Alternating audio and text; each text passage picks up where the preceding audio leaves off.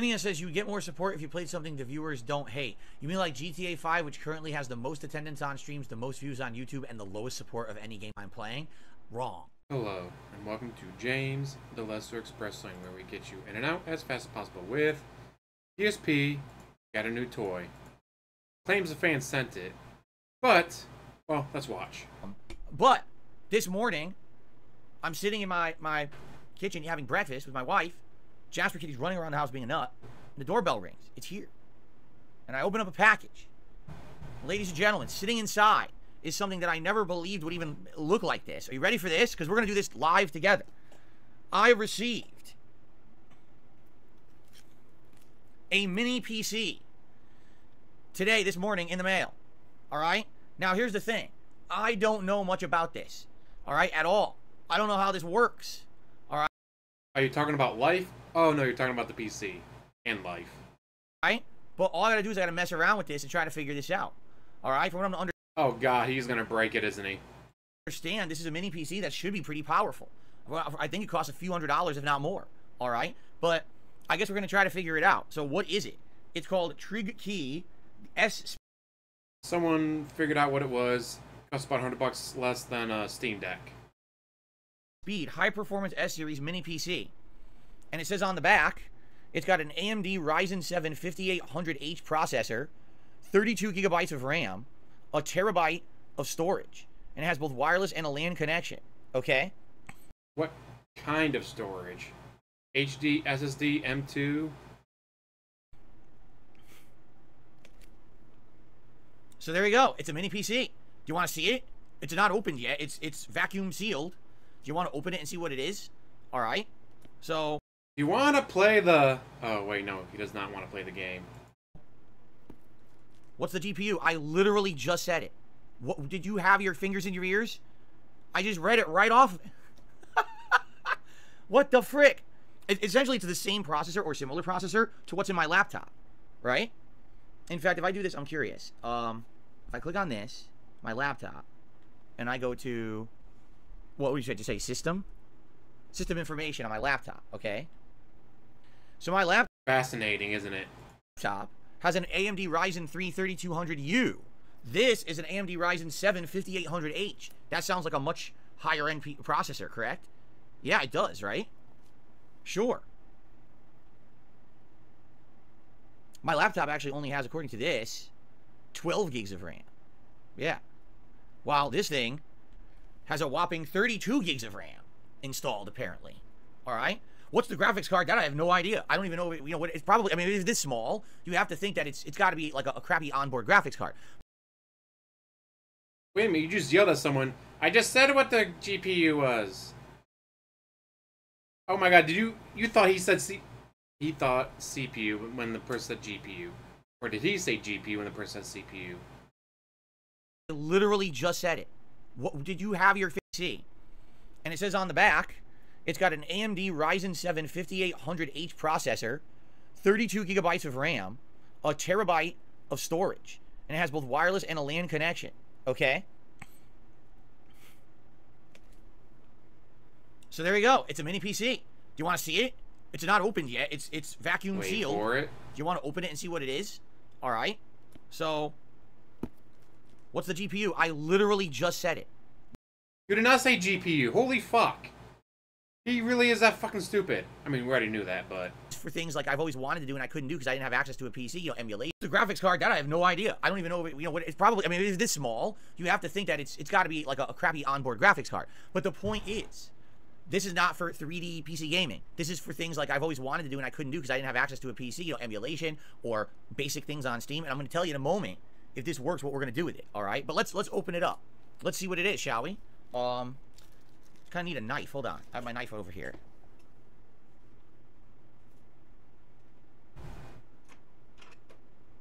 Now, of course, the question is, is it actually sent by a fan? This will be interesting. Is it ac- ac- actually sent by a fan? Oh god, he's got a knife. I've never seen a PC this small in my life. I've seen small build PCs. I've never seen one quite this small. So.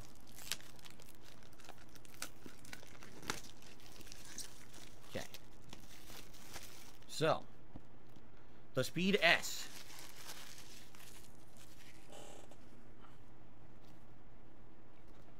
So it just slides open like that. Look at that.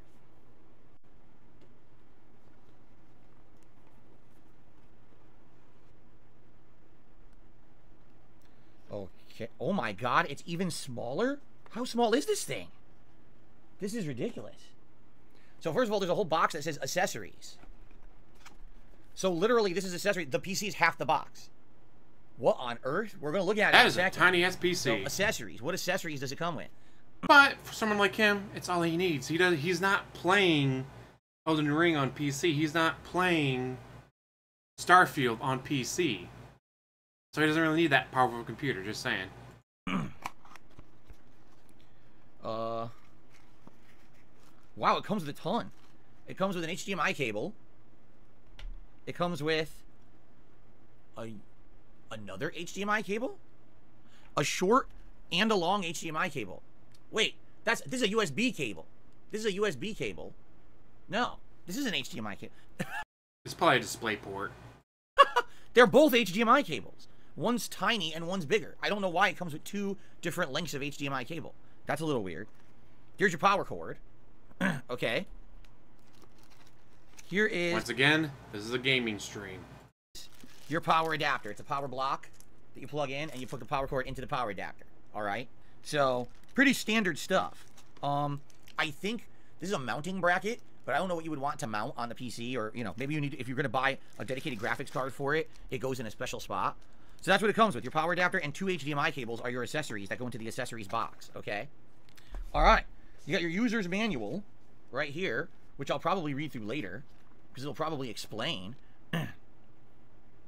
It's got a USB port, a Type C port, a headphone jack, a power button, a, a Ethernet port, a DP port.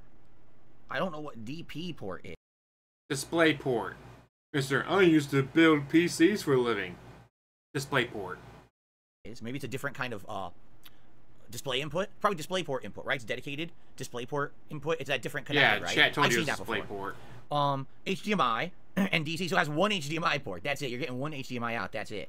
And then oh, this is that was a wall mount bracket, so that you can actually bracket. Wow, you could put this PC on the back of a TV. That's actually what that bracket's for. To mount it to the back of a TV, so that you can basically have a PC installed on your TV permanently.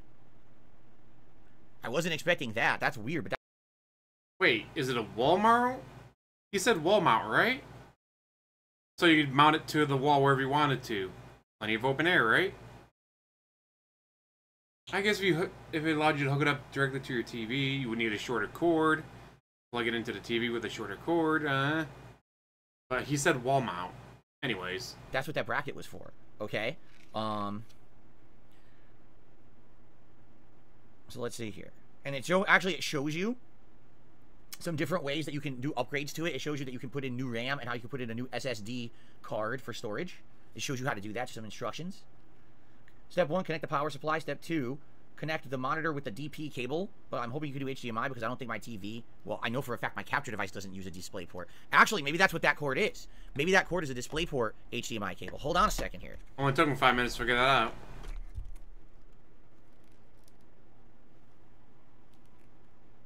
No, that just looks like a regular HDMI. They both look like HDMI. I don't know. Look at the cable. I'm thinking- trying I thought what they were saying is one of these is a display port that goes to HDMI, but they both look like HDMI to me. I guess I won't know until I actually start messing with the thing. They both look like standard HDMI to me. I don't know. But they're saying to use a display port to attach it to, to your TV. But I don't know my TV doesn't have a display port, and I don't also don't have a display port cable. So. Anyway. Step three, connect the keyboard and mouse. I have a keyboard and mouse. I do have a keyboard and mouse separate. Um, and this thing has two U- two USB ports, so it has just enough for the keyboard and mouse. The bummer is it only has two USB ports, so because of that, I might have to use a USB hub in order to, to actually fully use this thing. I'm thinking. Well, I have. Uh, say, let's see. My mouse is plugged into my keyboard, but the keyboard's plugged into the computer. Then I have a controller plugged in.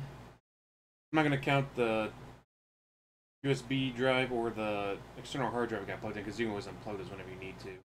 Unless I got one plugged in for the five, one plugged in for the capture card, one plugged in for the microphone. Not counting external hard drive or flash drive, I would need at least five USB ports. Sheesh. Have one. So maybe if I have to use it, we could use it. I guess we'll have to see. How to change audio playback devices on Windows. That's it? That's literally it. Everything else is different different languages. That's all the, the, the instructions. Wow. It's like two pages. All the instructions So you there's need. not much to this. It's very simplistic. Um, let's actually take a look at it. Ready? You take the foam off. Thank you for your choice. During the system boot process, if you cannot log into your personal account, turn off Wi-Fi and LAN. Select the skip option. Log into your personal account in the system. huh? This is it. This is the PC. this is it. This is the whole thing. Right here. Uh Wow. Made in China. So shall we take the plastic off and take a look at this thing? I'm fairly certain we're not playing 3D games on this thing. The thing is so small. I don't see how it could be possible. I'm really I think this is more for emulation. Yeah, you're definitely not playing Quake from 1993 on there. That's a 3D game, DSP. You're definitely not playing. What's a really old game that'd be in 3D? I am just completely blanked. I cannot remember a single game between Quake and today. That's terrible. And and simple games, right? So there you go. Took the plastic off. It's blue. Trigkey. AMD Ryzen 7 5800 series or 5000 series and AMD Radeon graphics it says. So it's got probably onboard graphics, right? Trigkey. So it's got it looks like is that a speaker? It's got built in no way those are speakers. That can't be speakers. That's got to be like ventilation. There's no way they put built-in speakers on this thing. I don't believe that for a second. That would be ridiculous. I don't believe that at all. Um, there's some ventilation there. There's your Ethernet port. There's your two USBs. One's blue, so that's probably the Type C, and the other one's probably a standard USB. Blue is 3.0, regular is 2.0. Jackass. And then you got your display port, and you got your HDMI port. There's your power adapter right there. And two more. It's got four USB ports. Oh, never mind. This is good then. Yeah, this is fine. It's got four USB ports. So I shouldn't have a problem. I should be able to plug in a controller, keyboard, and mouse and not have any issue. It's got four. Cool. All right. So two there. And I don't is that a USB-C, but why would it have that connector? It's the small connector. Why would it have that? That's really weird. That it has that type of connector. Why not have the, the actual port, not the I don't know why it has that. And then it's got a headphone jack. Although I'll probably never use that. I'll do audio out via uh, HDMI, right? And there's your power button. So there you go. It's a mini PC. All right. Now, so you might say, well, Phil, what are you going to use this thing for? Well, right now I can tell you immediately what I want to use it for. All right. Chrono Trigger. Why is there a piece of rubber on the bottom? What the heck? Does it have rubber footy so it doesn't slide around if you set it on a flat surface? This is okay. I got an honest question. All right. What the hell is this big piece of rubber? Look at this. There's a flicking piece of rubber down here. Why does that exist? Maybe so that it has a little bit of aeration underneath. It doesn't sit perfectly flat. It kind of has a little bit of rubber. I'm not sure what that's for. A piece of rubber. Look, I can flick it. It's like.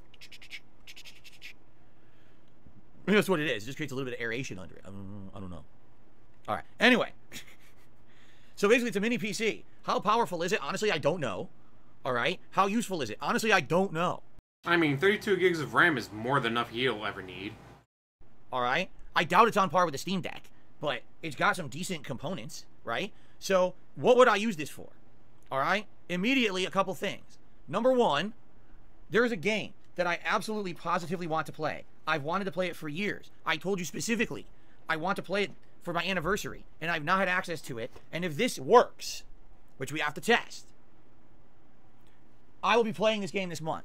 Ladies and gentlemen, Chrono Trigger. finally, after over a decade, I will be playing the best RPG in recorded human history. Amazing soundtrack, great story, Baldur's awesome characters, really cool gameplay, multiple endings, replayability, and for the first time ever, with an interactive audience. Ladies and gentlemen, coming to you live from my weird tiny PC donated by a fan. as long as it works, which we don't know yet, I have to test it. Chrono fucking Trigger. It's about goddamn time that I'll be able to play this game in, for a modern audience. I've been waiting years and years and years to play this one again. I've wanted to play it again. The last time I played it was 2012, and it was emulated back then. You couldn't even get it on a console back then, um, on PC. But basically, it was not an interactive audience. It was just me playing it for myself. People back then were not receptive to retro games. When I played retro games like that, they were angry. Oh, this is crappy. Why are you playing this this retro game? No one cares about it. Stop playing it and go back to GTA and go back to the modern new game. And it was really annoying. That summer of retro that I did, I was very annoyed by it because I was trying to expose my audience, which was mostly back then, let's be honest, teenagers. All right? It was a bunch of teenagers. And they just wanted to see everything new, and that was it. and I was like, no, you got to understand. This is the summer of retro. I'm going to expose you to Super Mario World, Super Mario Brothers 3, the classic Final Fantasies, the classic Chrono Trigger. We're going to play Earthbound. We're going to do Legend of Zelda: Link to the Past. And they crapped all over me all summer. How dare you? This is a horrible idea. It's the most boring summer ever. I couldn't believe it, and I actually got pretty upset, and I lashed out. And that was actually one of the first times when my viewers were angry at me because they were like, "You don't understand what we want. How dare you?" Basically, give it back to us because we don't like what you're playing.